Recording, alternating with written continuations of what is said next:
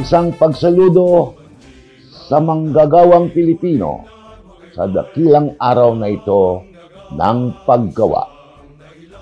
San man kayo naroon, nasa Pilipinas man o nasa iba't ibang bahagi ng mundo, tanggapin ninyo ang aking pagpupugay sa inyong makasaysayang papel sa pagsulong ng lipunan.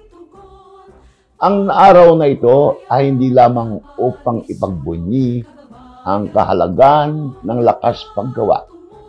Higit sa lahat, ito ay araw upang kilalanin ang inyong kontribusyon at sakripisyo para sa sambayanan.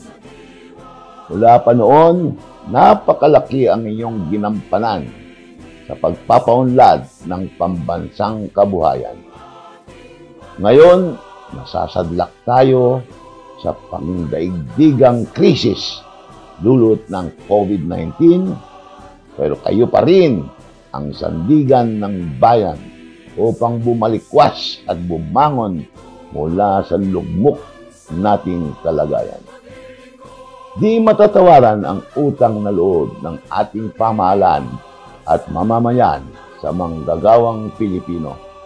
Kayo ang mga frontliners na hindi alintana ang panganib at nag-alay ng buhay para maligtas at patuloy na makapamuhay ang higit na nakakarami.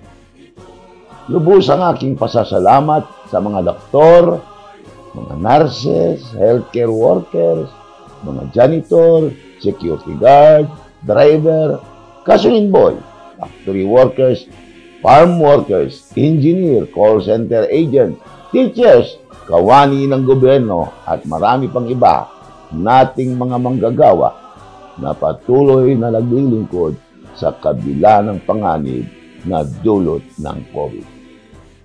Kasama ang mga mahal nating overseas workers, kayo ay nabibilang sa hanay ng mga bagong bayani ng ating panahon. Mula sa aking puso, Maraming maraming salamat sa inyong kabayanihan.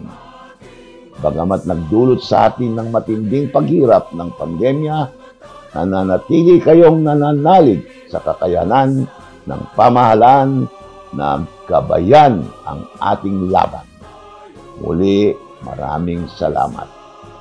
Ang inyong tiwala at pananalig sa ating Pangulong Duterte ay sapat na dahilan upang kami ay magpatuloy na maglilingkod upang ating mapagtagumpayan ang dambuhalang hamon sa ating bayan.